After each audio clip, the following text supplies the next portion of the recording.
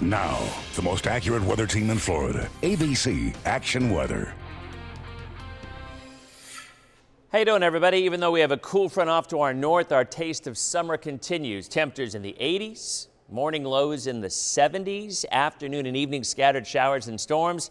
it really feels more like June and July, even though that front, I think, will eventually sort of fizzle out over the next couple of days. And in doing so, it's going to take our rain chances along with it.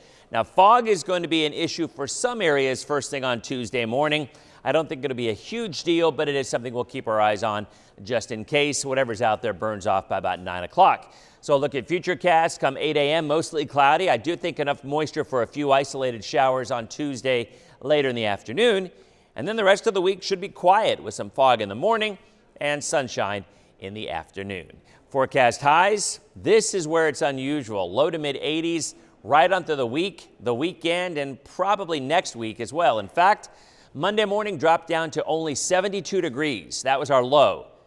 That's the same as our normal high this time of the year, and it's the warmest minimum low temperature ever recorded in Tampa in the month of February. So if you say this feels unusually warm, you're right. Forecast highs staying right around 80 and then some right on through the next seven days with rain chances only on Tuesday at 20 percent.